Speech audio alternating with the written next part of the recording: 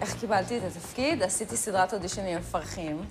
אה, בגדול, הוא יום אחד התפרץ אליי הביתה, כמו קרמר בסיינפלד, שלום.